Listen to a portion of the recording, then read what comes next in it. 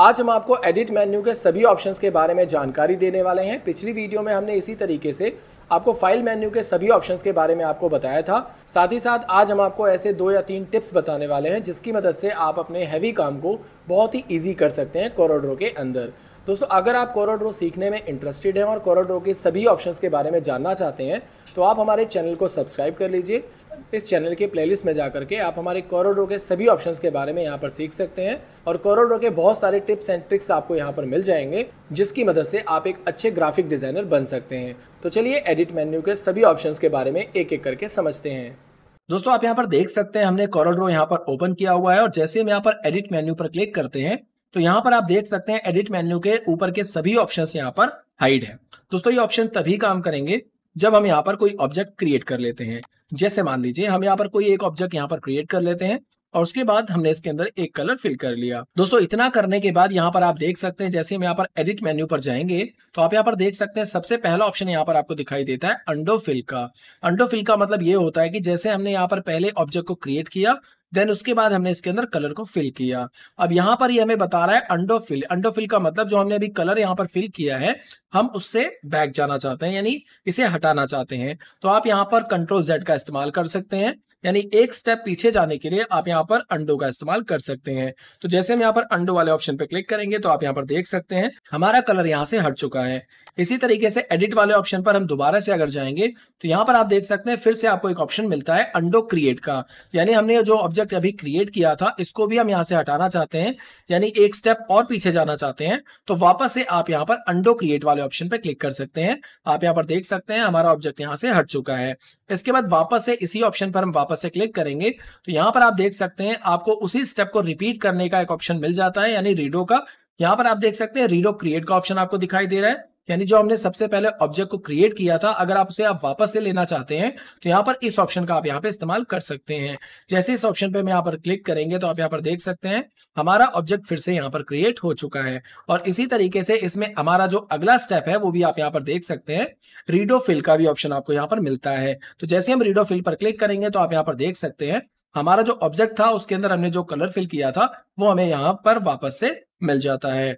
तो दोस्तों, इस तरीके से अगर आपने कोई डिज़ाइन बनाया हुआ है जिसमें आप गलती कर देते हैं किसी भी चीज़ को लेकर के तो आप यहाँ पर कंट्रोल जेड की मदद से पीछे जा सकते हैं। और अगर आपने गलती से किसी ऑब्जेक्ट को डिलीट कर दिया है तो आप यहाँ पर वापस से रीडो की मदद से उसे वापस ला सकते हैं। तो ये दोनों ऑप्शन बहुत ही काम के ऑप्शन होते हैं। इसके बाद आप यहाँ पर देख सकते हैं, हमारा जो नेक्स्ट ऑप्शन मिलता है यहाँ पर रिपीट फेल यानी कंट्रोल आर इसका इस्तेमाल किया जाता है किसी एक चीज़ को बार बार रिपीट करने के लिए. फॉर एग्ज़ाम्पल इस ऑब्जेक्ट को मान लीजिए हमने यहाँ पर इस तरीके से बना लिया है और उसके बाद यहाँ पर आप देख सकते हैं, बीच वाले पॉइंट पर आकर के एक बार हम डबल क्लिक कर देते हैं या सिंगल क्लिक कर देते हैं। तो आप यहाँ पर देख सकते हैं, इस पर आकर के हम एक बार क्लिक करेंगे तो यहाँ पर आप देख सकते हैं, इस तरीके का आपके सामने एरोज दिखाई देगा और ये डॉट आपको बीच में सेंटर पॉइंट पे दिखाई देगा। इस वाले डॉट को उठा करके हम यहाँ पर नीचे की तरफ़ रख लेते हैं और उसके बाद यहाँ पर आकर के हम एक बार इसे इस तरीके से ड्रैग करते हैं। यहाँ पर आप देख सकते हैं, यहाँ पर आपको माउस का जो क्लिक है वो छोड़ना नहीं है। लेफ़्ट क्लिक आपको नहीं छोड़ना, सबसे पहले आपको राइट क्लिक कर देना है। उसके बाद आपको अपना लेफ़्ट क्लिक यहाँ पर छोड़ना होगा।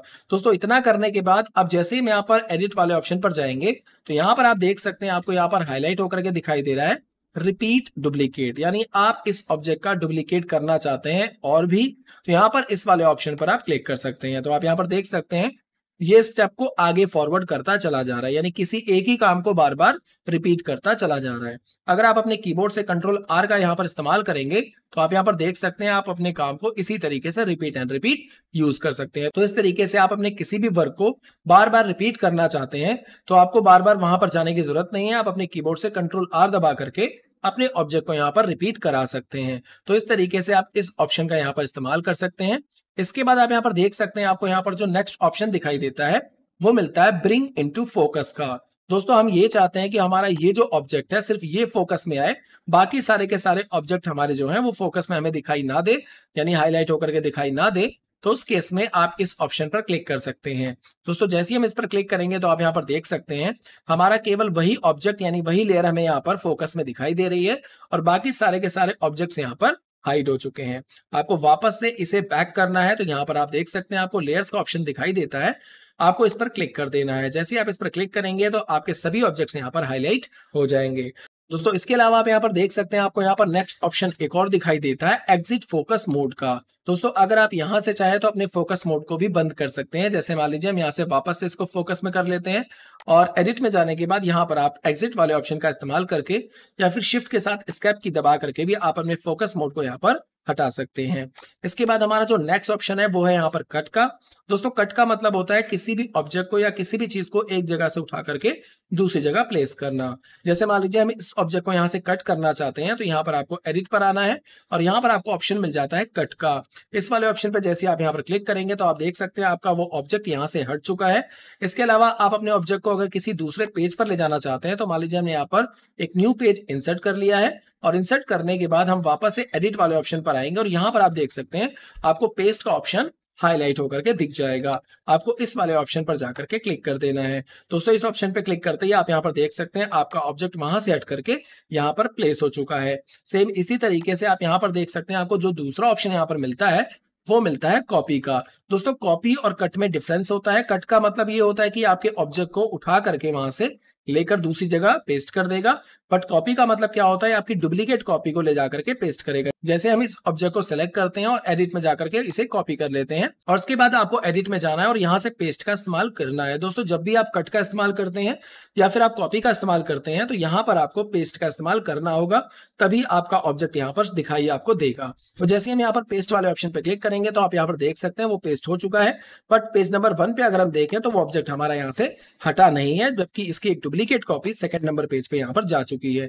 इसी तरीके से आप किसी भी ऑब्जेक्ट का डुप्लीकेट करना चाहें तो कॉपी करके आप यहाँ पर पेस्ट कर सकते हैं। दोस्तों, इसके अलावा आप यहाँ पर देख सकते हैं, आपको यहाँ पर एक ऑप्शन मिलता है कॉपी प्रॉपर्टी फॉर्म का। दोस्तों कॉपी प्रॉपर्टी फॉर्म किस लिए यूज़ किया जाता है, इसके बारे में भी हम जान लेते हैं। हम यहाँ पर एक नया पेज वापस इंसर्ट कर लेते हैं और यहाँ पर हम एक टेक्स्ट को टाइप कर लेते हैं। जैसे हम टाइप करते हैं यहाँ पर एक्सल इन्फोटेक दोस्तों एक्सेल इन्फोटेक हमने यहाँ पर लिख दिया है और उसके बाद हम इसमें कुछ फॉर्मेटिंग्स करना चाहते हैं। जैसे मान लीजिए हम यहाँ से एरियल की जगह में से एरियल राउंडेड एम्प्टी ले लेते हैं, इसका फॉन्ट का स्टाइल चेंज कर देते हैं और इसके बाद इसके अंदर हम एक कलर फिल कर लेते हैं। जैसे मान लीजिए हमने यहाँ से इसका कलर चेंज कर दिया है और उसके अलावा हम यहाँ पर इसकी आउटलाइन को थोड़ा सा मोटा करना चाहते हैं तो उसके लिए हम यहाँ पर F12 का इस्तेमाल करेंगे। F12 का इस्तेमाल करते आप यहाँ पर देख सकते हैं आउटलाइन पेन के नाम से आपको यहाँ पर एक डायलॉग बॉक्स दिखाई दे जाएगा। और यहाँ से आप अपनी विथ को यहाँ पर बढ़ा सकते हैं। जैसे हम यहाँ से ले लेते हैं 0.5 पॉइंट mm, तो आप यहाँ पर देख सकते हैं विथ हमें यहाँ पर दिखाई दे रही है। इसके अलावा अगर आप यहाँ से चाहें तो इसके स्टाइल को भी आप चेंज कर सकते हैं।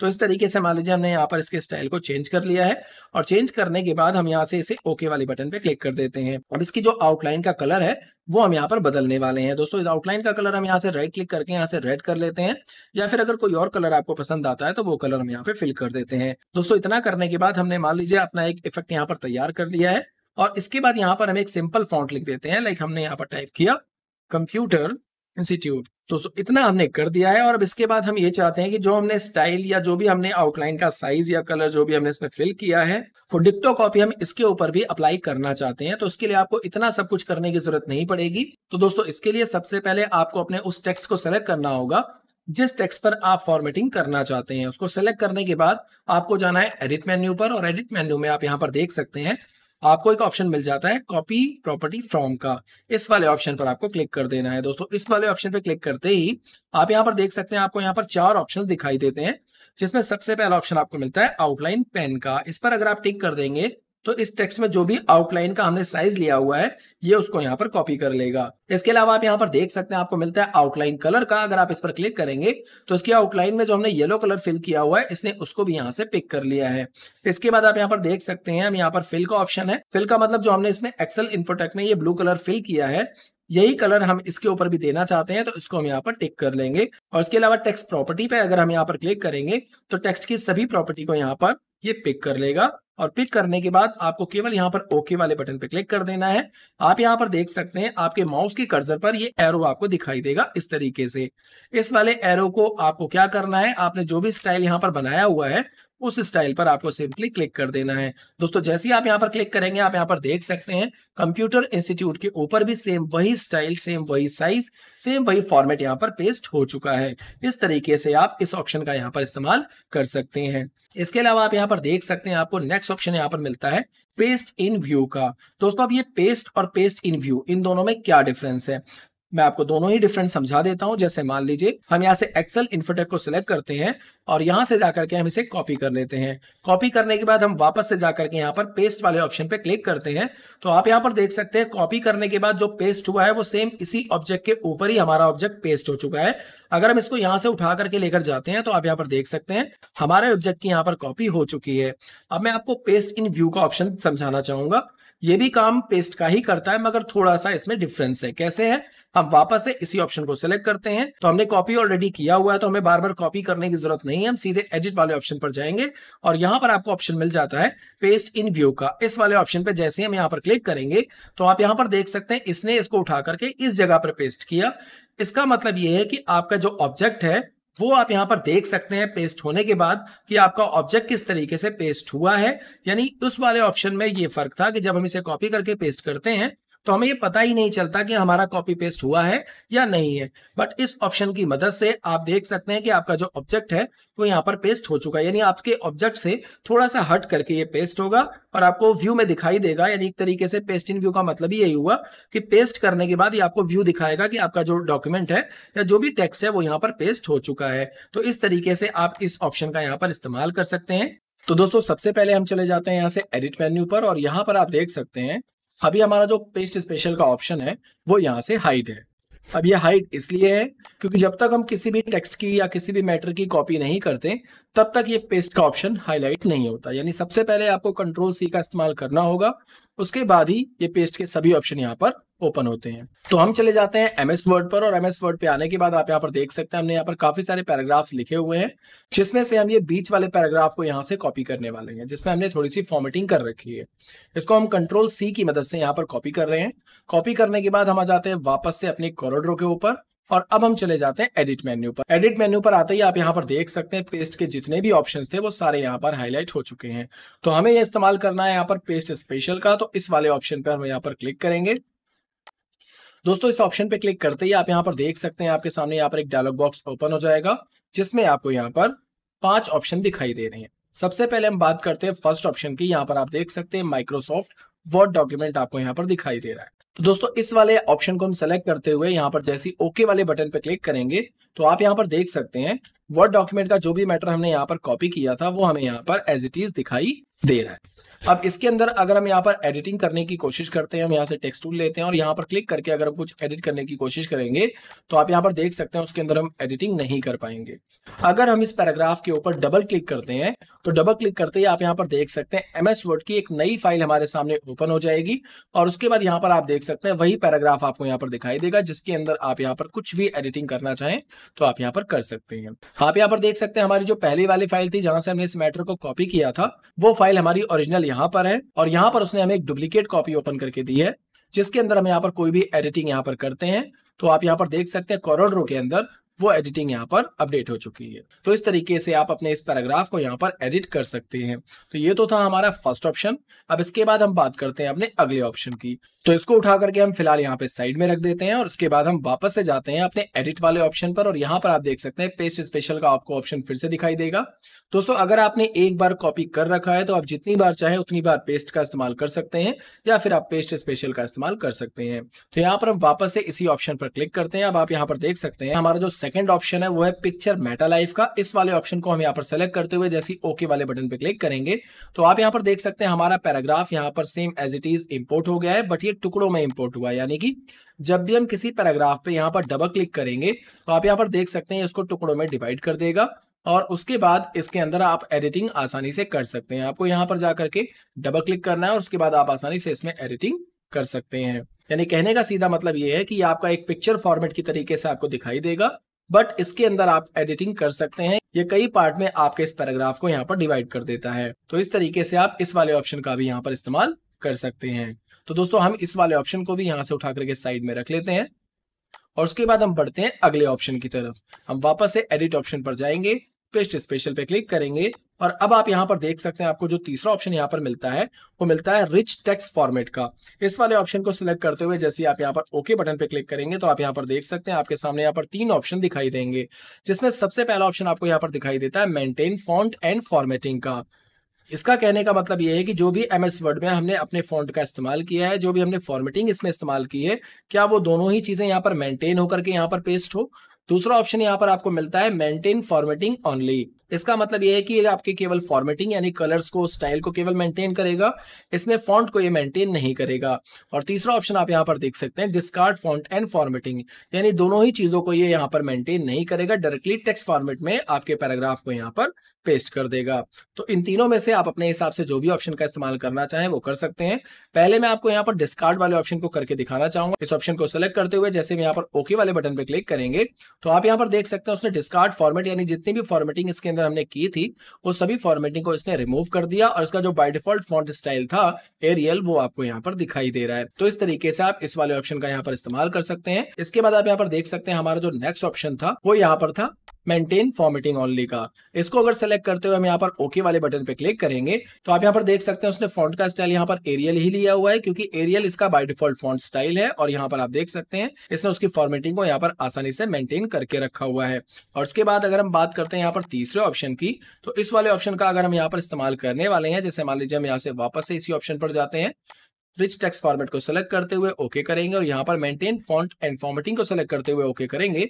तो आप यहाँ पर देख सकते हैं उसने फॉन्ट और फॉर्मेटिंग दोनों को ही यहाँ पर मेंटेन करके एज इट इज़ यहाँ पर पेस्ट कर दिया है।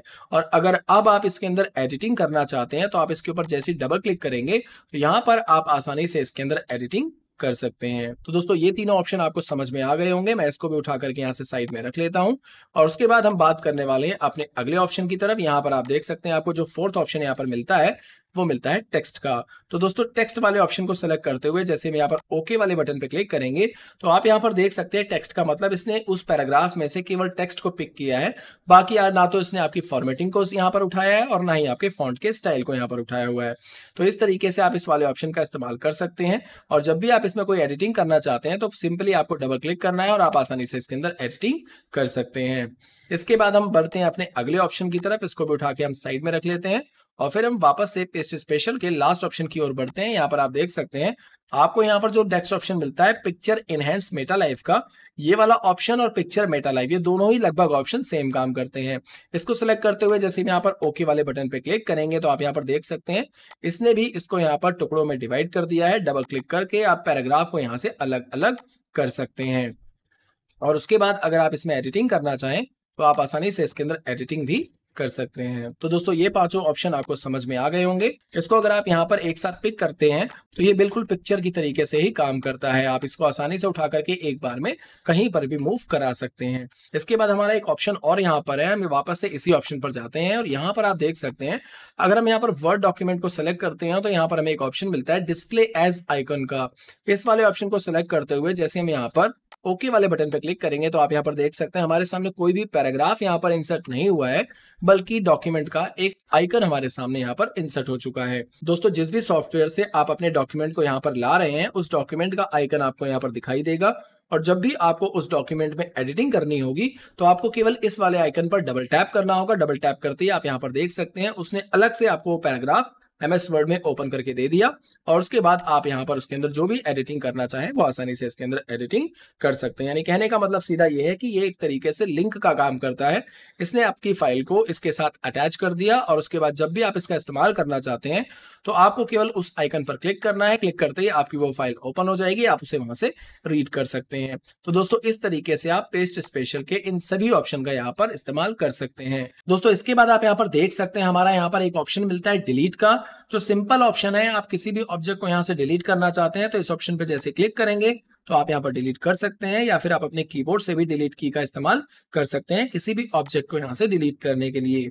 इसके बाद आप यहाँ पर देख सकते हैं, आपको यहाँ पर एक ऑप्शन मिलता है क्लोन का। दोस्तों क्लोन का मतलब भी डुप्लीकेट ही होता है बट इसमें फ़र्क है। जैसे यहाँ पर आप देख सकते हैं, हम इस ऑब्जेक्ट को वापस से ले लेते हैं और इसी ऑब्जेक्ट का हम क्लोन बना लेते हैं।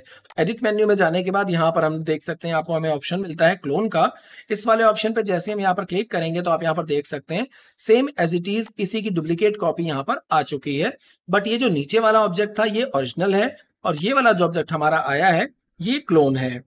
अब यहाँ पर आप देख सकते हैं, इस वाले ऑब्जेक्ट में हम जो भी चेंजेस करेंगे, ऊपर वाले ऑब्जेक्ट में ऑटोमेटिक वो चेंजेस अपने आप होती चली जाएगी। जैसे मान लीजिए हम यहाँ पर टाइप करते हैं कंप्यूटर यहाँ पर आप देख सकते हैं कंप्यूटर टाइप हो चुका है। इसके अलावा अगर इसके साइज़ को भी हम यहाँ पर इंक्रीज या डिक्रीज करते हैं तो वो भी आप यहाँ पर देख सकते हैं, वो उसी साइज़ को अपने आप लेता चला जाएगा। और इसके अलावा अगर हम कलर वगैरह भी चेंज करेंगे तो आप यहाँ पर देख सकते हैं कलर्स भी यहाँ पर ऑटोमेटिकली चेंज होता चला जाएगा।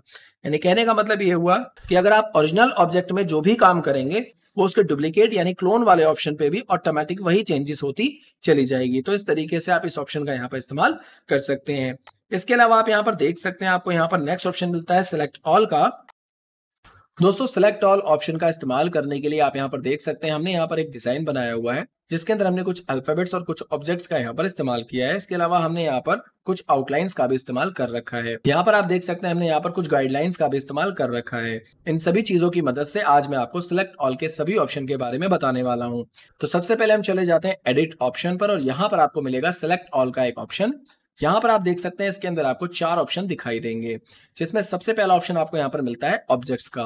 दोस्तों, अगर आप यहाँ पर ऑब्जेक्ट पे क्लिक करेंगे तो आपके पूरे डॉक्यूमेंट में ऑब्जेक्ट्स यहाँ पर सिलेक्ट होगा, यानी यहाँ पर आप पूरे डॉक्यूमेंट में से ऑब्जेक्ट को सीधे उठा करके कहीं भी मूव कर सकते हैं। ऑब्जेक्ट के अंदर आपके टेक्सेस भी आते हैं, आपके एलिमेंट्स भी आते हैं, पैराग्राफ भी आते हैं। तो यानी कह सकते हैं हम पूरा का पूरा मैटर एक साथ सेलेक्ट करने के लिए हम यहाँ पर ऑब्जेक्ट वाले ऑप्शन का इस्तेमाल करते हैं। हमने वापस से कंट्रोल जेड करके इसको वापस से बैक कर दिया। इसके बाद हम पढ़ते हैं अगले ऑप्शन की तरफ़। हम एडिट पर फिर से जाते हैं। यहाँ पर आपको जो दूसरा ऑप्शन यहाँ पर दिखाई देता है वो दिखाई देता है टेक्स्ट का। दोस्तों, आप यहाँ पर देख सकते हैं, हमने यहाँ पर जो भी डिज़ाइन बनाया हुआ है, इसके अंदर हम चाहते हैं कि जितना भी हमारा टेक्स्ट है, केवल टेक्स्ट यहाँ से हट जाए, बाकी ऑब्जेक्ट यहाँ पर रहना चाहिए तो उस केस में हम इस वाले ऑप्शन का इस्तेमाल कर सकते हैं। अगर आप एक एक करके इस टेक्स्ट को यहाँ से उठाएँगे तो ये बहुत ज़्यादा टिपिकल हो जाएगा और एक साथ अगर आप इसे सिलेक्ट भी करेंगे तो भी ये बहुत ज़्यादा टिपिकल हो जाएगा और ज़्यादा मेहनत का काम हो जाएगा। तो आप बहुत आसान तरीके से सिलेक्ट ऑल ऑप्शन का इस्तेमाल करके एक साथ सभी टेक्स्ट को यहाँ से पिक कर सकते हैं, यानी सिलेक्ट कर सकते हैं। तो चलिए मैं आपको दिखाता हूँ कि आप इसे किस तरीके से कर सकते हैं। आपको एडिट ऑप्शन पर जाना है और यहाँ पर आप देख सकते हैं, आपको सिलेक्ट ऑल के अंदर एक ऑप्शन दिखाई देता है टेक्स्ट का। इस वाले ऑप्शन पर आपको क्लिक कर देना है। बस आपको इतना करते ही आप यहाँ पर देख सकते हैं। आपके पूरे डिज़ाइन में से जितने भी टैक्सेस होंगे केवल टैक्स टैक्स यहाँ पर सेलेक्ट हो जाएँगे। और अब आप इसे आसानी से कहीं पर भी मूव कर सकते हैं। तो, तो आप यहाँ पर देख सकते हैं हमारा डिज़ाइन केवल यहाँ पर रह गया और टैक्स सारा हमारा यहाँ पर अलग से आ चुका है यानी अलग से हमने इसको हटा दिया है। तो इस तरीके से आप अपने डिज़ाइन में से केवल टेक्स्ट को अगर यहाँ पे हटाना चाहते हैं तो उस केस में ये ऑप्शन बहुत ही काम का है। इसके बाद हम कंट्रोल जेड करके वापस इसे बैक कर देते हैं और फिर से हम बढ़ते हैं अगले ऑप्शन की तरफ़। दोस्तों, यहाँ पर जो हमारा तीसरा ऑप्शन यहाँ पर मिलता है, वो यहाँ पर मिलता है गाइडलाइंस का। दोस्तों गाइडलाइंस क्या होती हैं? आप यहाँ पर देख सकते हैं जो हमारी ब्लू कलर की यहाँ पर काफ़ी सारी गाइडलाइंस हमें दिखाई दे रही हैं। ये हमारी गाइडलाइंस होती हैं जिसकी मदद से हम अपने ऑब्जेक्ट को यहाँ पर मार्जिन में सेटअप कर सकते हैं। अब यहाँ पर हम चाहते हैं कि भाई सारी गाइडलाइन को एक साथ सेलेक्ट करके हटाना या डिलीट करना या जो भी आप यहाँ पर चाहते हैं उसके लिए आप सारी गाइडलाइन को यहाँ पर सेलेक्ट कर सकते हैं। अगर आप गाइडलाइन को वैसे सेलेक्ट करते हैं तो यहाँ पर आपको एक एक करके गाइडलाइन को यहाँ पर सेलेक्ट करना होगा। तो शिफ्ट के साथ आपको यहाँ पर एक एक करके अगर आप इन सभी गाइडलाइन को सिलेक्ट करते हैं तो ये बहुत ही ज़्यादा मेहनत का काम हो जाता है।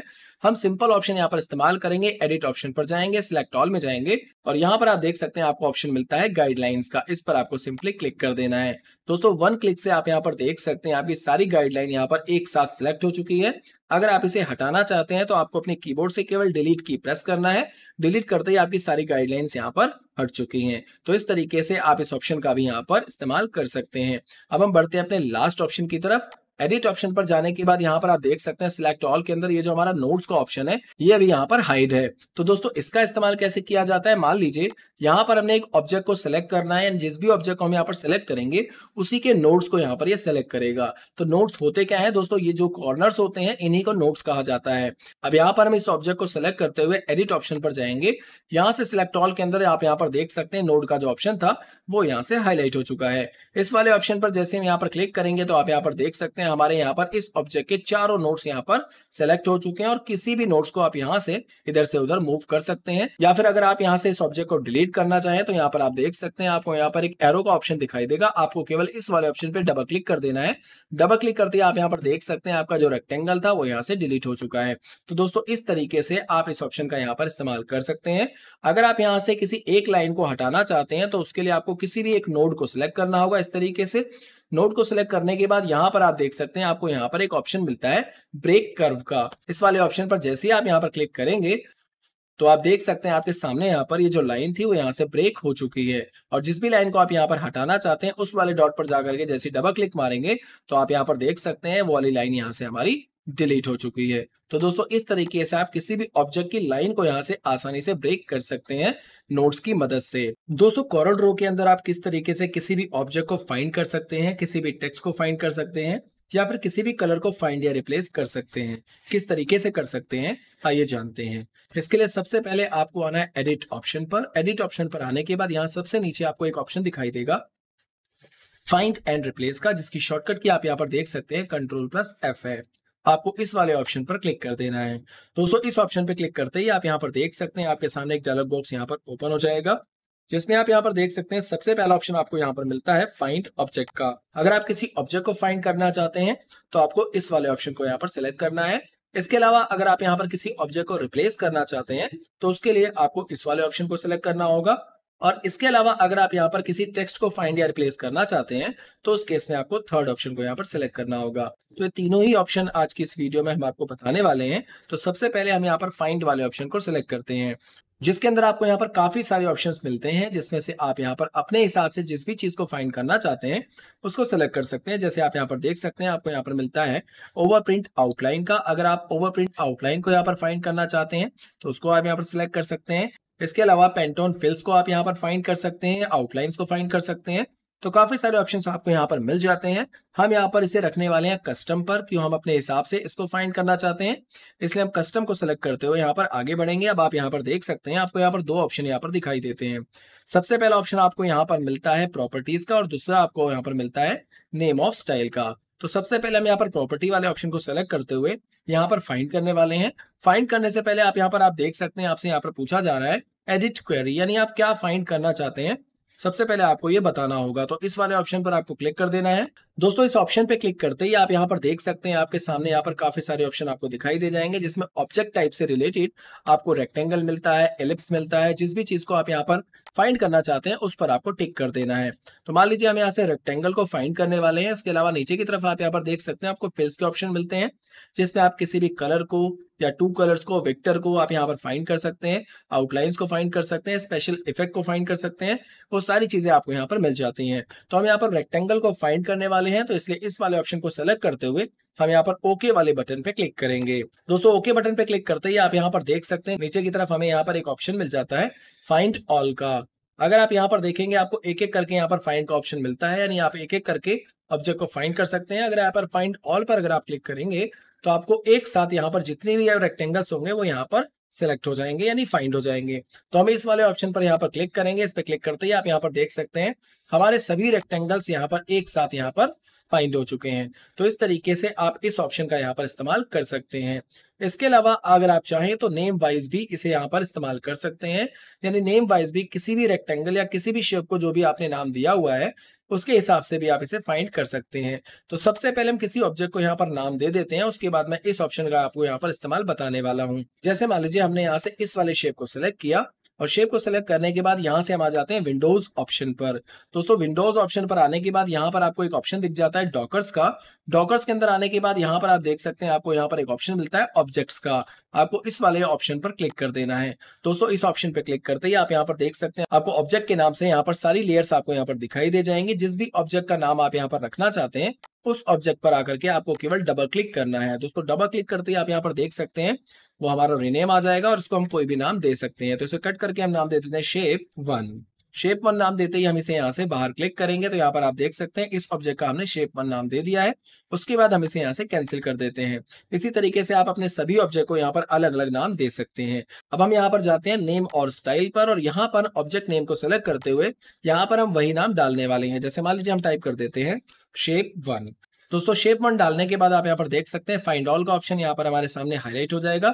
जैसे इस वाले ऑप्शन पर हम यहाँ पर क्लिक करेंगे तो आप यहाँ पर देख सकते हैं, वही शेप हमारी यहाँ पर सिलेक्ट हो जाएगी। तो इस तरीके से आप इन दोनों ऑप्शन का यहाँ पर इस्तेमाल कर सकते हैं। तो दोस्तों, इसके बाद हम बात करते हैं अपने अगले ऑप्शन की। यहाँ पर हम जाएँगे वापस से और यहाँ पर आप देख सकते हैं आपको जो नेक्स्ट ऑप्शन यहाँ पर दिखाई देता है, वो है रिप्लेस ऑब्जेक्ट का। तो इस वाले ऑप्शन पे हम यहाँ पर क्लिक करेंगे। दोस्तों, इस ऑप्शन पे क्लिक करते ही आप यहाँ पर देख सकते हैं यहाँ पर कलर का ऑप्शन है। आप यहाँ से कलर को फाइंड कर सकते हैं, उसे रिप्लेस कर सकते हैं। इसी तरीके से आप कलर मॉडल को भी यहाँ पर फाइंड या रिप्लेस कर सकते हैं आउटलाइन प्रॉपर्टीज़ को भी फाइंड कर सकते हैं और टेक्स्ट प्रॉपर्टी को भी आप यहाँ से आसानी से फाइंड कर सकते हैं। तो इसमें से मैं आपको कलर वाला ऑप्शन बताने वाला हूँ। जैसे मान लीजिए हमने कलर वाले ऑप्शन को सिलेक्ट किया और उसके बाद आप यहाँ पर देख सकते हैं, आपको यहाँ पर फाइंड कलर में एक ऑप्शन आपको दिखाई देगा, जहाँ पर आप अपने कलर को फाइंड करेंगे। जैसे मान लीजिए हम यहाँ पर जो भी कलर को फाइंड करना चाहते हैं, उस वाले कलर पर यहाँ पर क्लिक करेंगे और यहाँ पर आपको अपना कलर सिलेक्ट करना होगा। दोस्तों, यहाँ पर अगर आप कलर सही से नहीं सिलेक्ट करते तो ये उसे एग्जैक्ट फाइंड नहीं कर पाएगा। तो इसके लिए आप यहाँ पर देख सकते हैं, आपको यहाँ पर एक ऑप्शन मिलता है आई ड्रॉपर टूल का। इस वाले ऑप्शन पर आप यहाँ पर क्लिक करेंगे। इस ऑप्शन पे क्लिक करते ही आप यहाँ पर देख सकते हैं आपके सामने यहाँ पर आई ड्रॉपर टूल ओपन हो जाएगा और जिस भी कलर को आप यहाँ पर फाइंड करना चाहते हैं, केवल उस कलर पर आपको जाकर के यहाँ पर क्लिक कर देना है। दोस्तों, इस कलर पे हमने यहाँ पर क्लिक कर दिया है। आप यहाँ पर देख सकते हैं वो कलर ऑटोमेटिक यहाँ पर फाइंड हो चुका है। इसके बाद आपको यहाँ से बाहर क्लिक कर देना है। यहाँ पर आप देख सकते हैं आपका वो कलर शो हो जाएगा। तो दोस्तों, इसके बाद आपको यहाँ से नीचे की तरफ़ स्क्रॉल करके आ जाना है और यहाँ पर आप देख सकते हैं, आपको ऑप्शन मिलता है फाइंड ऑल का। जैसे आप फाइंड ऑल पर क्लिक करेंगे तो आप यहाँ पर देख सकते हैं, इसने उस सभी कलर को सिलेक्ट कर लिया जो अभी हमने यहाँ पर फाइंड किया था। इसके अलावा आप यहाँ पर देख सकते हैं, आपको यहाँ पर एक और ऑप्शन दिखाई देता है प्लेस का। अगर आप चाहते हैं कि भाई इस कलर को यहाँ से रिप्लेस करके इसकी जगह दूसरा कोई कलर आप फिल करना चाहते हैं तो यहाँ पर आप इसका इस्तेमाल कर सकते हैं, आपको यहाँ पर क्लिक करना होगा। क्लिक करते ही आप यहाँ पर जो भी कलर यहाँ पर यूज़ करना चाहते हैं, यानी जो भी कलर आप इसके अंदर फिल करना चाहते हैं उस कलर को आपको यहाँ पर सिलेक्ट कर लेना है। और उसके बाद अगर आप चाहें तो यहाँ पर आई ड्रॉपर टूल की मदद से भी कोई कलर यहाँ पर पिक कर सकते हैं। तो इसके बाद हम यहाँ पर नीचे की तरफ़ आ जाएँगे और यहाँ पर आपको एक ऑप्शन दिखाई देता है रिप्लेस का। अगर आप यहाँ पर रिप्लेस करेंगे तो दोस्तों आप यहाँ पर देख सकते हैं आपको पहला ऑब्जेक्ट यहाँ पर दिखाई देगा और रिप्लेस करते ही कलर यहाँ से रिप्लेस कर दिया जाएगा। इसी तरीके से अगर आप यहाँ पर रिप्लेस ऑल पे क्लिक करेंगे तो इससे आपका बेनिफिट ये होगा कि आपके जितने भी ऑब्जेक्ट में ये कलर होगा, उसको ऑटोमेटिकली एक बार में ये रिप्लेस कर देगा। इसके बाद हम बढ़ते हैं अपने अगले ऑप्शन की तरफ़ यहाँ पर हम वापस से क्लिक करेंगे और यहाँ पर आप देख सकते हैं आपको यहाँ पर एक ऑप्शन मिलता है फाइंड एंड रिप्लेस टेक्स्ट का तो इस पर जैसे आप यहाँ पर क्लिक करेंगे तो आप देख सकते हैं आपको यहाँ पर भी दो ऑप्शन दिखाई देते हैं जिसमें फाइंड और रिप्लेस आपको यहाँ पर दिखाई दे रहा है तो हम सबसे पहले यहाँ पर फाइंड वाले डायलॉग बॉक्स पर जाएँगे और यहाँ पर कोई भी टेक्स्ट टाइप कर देते हैं आप यहाँ पर देख सकते हैं हमने यहाँ पर एक्सेल इन्फोटेक कई बार यहाँ पर कॉपी पेस्ट किया हुआ है तो हम यहाँ पर टाइप कर देते हैं एक्सेल दोस्तों एक्सेल टाइप करते ही आप यहाँ पर जैसे फाइंड नेक्स्ट वाले ऑप्शन पर क्लिक करेंगे तो आप यहाँ पर देख सकते हैं आपको एक एक करके ऑप्शन यहाँ पर दिखाई दे रहा है कि कहाँ कहाँ पर आपका एक्सेल यहाँ पर लिखा हुआ है। इसके बाद आप यहाँ पर देख सकते हैं, आपको यहाँ पर रिप्लेस का ऑप्शन दिखाई देता है, जो अभी प्रेजेंट में हाईलाइट नहीं है। तो दोस्तों, इसको हाईलाइट करने के लिए आपको यहाँ पर ऊपर की तरफ़ रिप्लेस वाले ऑप्शन पे क्लिक करना होगा। इस पर जैसे आप यहाँ पर क्लिक करेंगे तो आप देख सकते हैं, आपको यहाँ पर रिप्लेस का ऑप्शन हाईलाइट हो जाएगा। और इस एक्सेल की जगह पे अगर आप यहाँ पर कुछ और लिखना चाहते हैं तो वो आप यहाँ पर लिख सकते हैं। जैसे हम यहाँ पर टाइप कर देते हैं इन्फो इन्फो लिखने के बाद आप यहाँ पर देख सकते हैं, आपको यहाँ पर रिप्लेस और रिप्लेस ऑल का वही ऑप्शन दिखाई देता है। अगर आप रिप्लेस पे क्लिक करेंगे तो ये एक एक करके रिप्लेस करेगा और रिप्लेस ऑल पे क्लिक करेंगे तो एक साथ सभी एक्सेल को हटा करके उसकी जगह पर इन्फो लिख देगा। तो यहाँ पर रिप्लेस ऑल का इस्तेमाल करते हैं। दोस्तों रिप्लेस ऑल का इस्तेमाल करते ही आप यहाँ पर देख सकते हैं हमारे सभी टैक्सेस में से यहाँ पर एक्सेल हट चुका है और सभी जगह पर यहाँ पर इन्फो आ चुका है तो दोस्तों इस तरीके से आप फाइंड और रिप्लेस ऑप्शन का यहाँ पर इस्तेमाल कर सकते हैं तो दोस्तों आप यहाँ पर देख सकते हैं हमने यहाँ पर एक आई कार्ड लिया हुआ है और इस आई कार्ड को हम यहाँ पर एक इक्वल पोजिशन में पेज के ऊपर सेट करने वाले हैं यहाँ पर आप देख सकते हैं हमने यहाँ पर जो अपने पेपर का साइज़ लिया हुआ है वो लिया हुआ है चौदह बाय बीस का और इसके हिसाब से हम यहाँ पर अपने आई कार्ड को यहाँ पर सेट करने वाले हैं प्रिंट करने के लिए तो उसके लिए सबसे पहले हम यहाँ पर आएँगे एडिट वाले ऑप्शन पर और यहाँ पर आप देख सकते हैं आपको यहाँ पर एक ऑप्शन दिखाई देता है स्टेप एंड रिपीट का इस वाले ऑप्शन को आपको यहाँ पर सिलेक्ट कर लेना है इस ऑप्शन पर जैसे ही आप यहाँ पर क्लिक करेंगे तो आप यहाँ पर देख सकते हैं आपके सामने यहाँ पर आपको एक ऑप्शन दिखाई देता है स्टेप एंड रिपीट का जिसमें आप सबसे पहले देखेंगे यहाँ पर आपको हॉरिजेंटल सेटिंग आपको दिखाई देगी जिस पर आपको क्लिक करना है दोस्तों इस पर क्लिक करते ही आप यहाँ पर देख सकते हैं आपको यहाँ पर तीसरा ऑप्शन दिखाई देगा स्पेसिंग बिटवीन ऑब्जेक्ट का इसको आपको यहाँ पर सिलेक्ट कर लेना है इसको सिलेक्ट करने के बाद यहाँ पर आप अपने डिस्टेंस को सेट कर सकते हैं कि आपको अपने आई कार्ड के बीच में कितना डिस्टेंस यहाँ पर रखना है। तो हमने यहाँ पर 0.2 का डिस्टेंस यहाँ पर रखा हुआ है। इसी डिस्टेंस को रखते हुए हम यहाँ पर आगे बढ़ने वाले हैं। इसके बाद आप यहाँ पर देख सकते हैं आपको जो डायरेक्शन का डिस्टेंस है, वो आपको यहाँ पर राइट साइड में दिखाई दे रहा है। तो हम बाय डिफ़ॉल्ट इसको राइट साइड में ही रखेंगे, क्योंकि हम इसकी कॉपी राइट साइड में करने वाले हैं। इतनी सेटिंग करने के बाद आपको यहाँ से आ जाना है वर्टिकल सेटिंग्स पर। स्पेसिंग बिटवीन ऑब्जेक्ट का, इस पर आपको क्लिक करना है और यहाँ पर आपको लेना है नो ऑफ़ इसको सेलेक्ट कर लेना है। इसके बाद आप यहाँ से अपने आई कार्ड की कितनी कॉपीज करना चाहते हैं, उतनी नंबर ऑफ़ कॉपीज आप यहाँ पर डाल दीजिए। तो मान लीजिए हम यहाँ पर फाइव कॉपीज चाहते हैं तो हमने यहाँ पर फाइव डाल दिया। उसके बाद यहाँ से अप्लाई वाले ऑप्शन पे क्लिक कर देंगे। दोस्तों, जैसे ही यहाँ पर अप्लाई ऑप्शन पे क्लिक करेंगे तो आप यहाँ पर देख सकते हैं, हमारे यहाँ पर I card same equal position में यहाँ पर पेस्ट हो चुका है। इसके बाद हम अपने ऑब्जेक्ट को यहाँ पर एक साथ, सभी ऑब्जेक्ट को सिलेक्ट करेंगे, यानी सारे आई कार्ड को यहाँ पर एक साथ सिलेक्ट करेंगे। सिलेक्ट करने के बाद आपको हॉर्जेंटल वाले सेटिंग्स पर वापस से आना है और उसे यहाँ पर कर देना है नो ऑफसेट दोस्तों नो ऑफसेट करने के बाद अब यहाँ से आपको वर्टिकल वाले ऑप्शन पर आना है और यहाँ से आपको स्पेसिंग बिटवीन ऑब्जेक्ट सेलेक्ट कर लेना है। और यहाँ पर आप देख सकते हैं आपका डिस्टेंस जो दिखाई दे रहा है ज़ीरो पॉइंट इंचज का यहाँ पर आपको दिखाई दे रहा है। तो हम इसे इतना ही रखते हुए आगे बढ़ने वाले हैं। नीचे की तरफ़ आपको कितनी नंबर ऑफ़ कॉपीज चाहिए, वो आपको यहाँ पर सिलेक्ट कर लेनी है। तो यहाँ पर नंबर ऑफ़ कॉपीज हम चार चाहते हैं तो चार सेलेक्ट करते हुए हम यहाँ पर आगे बढ़ेंगे। डायरेक्शन आप यहाँ पर देख सकते हैं, यहाँ पर डाउन की तरफ़ है, क्योंकि हम इसकी जो आई कार्ड की कॉपी है, वो यहाँ से नीचे की तरफ़ करने वाले हैं, क्योंकि हमारा जो पेज है, वो नीचे की तरफ़ आपको दिखाई दे रहा है ब्लैंक है।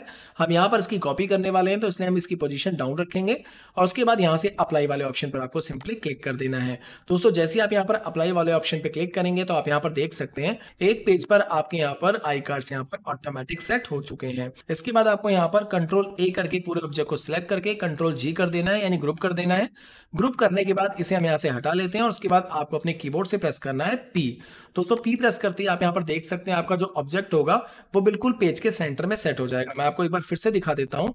जैसे हम अपने कीबोर्ड से पी टाइप करेंगे तो आप यहाँ पर देख सकते हैं ऑब्जेक्ट हमारा बिल्कुल सेंटर पॉइंट में पेज के अलाइन में सेट हो चुका है। इसके बाद आप यहाँ पर एफ़ करके इसको फोकस कर सकते हैं और देख सकते हैं, आपका आई कार्ड यहाँ पर प्रॉपर तरीके से पेज के ऊपर सेट हो चुका है। तो दोस्तों, इस तरीके से आप कोरोड्रो के स्टेप एंड रिपीट ऑप्शन का इस्तेमाल कर सकते हैं।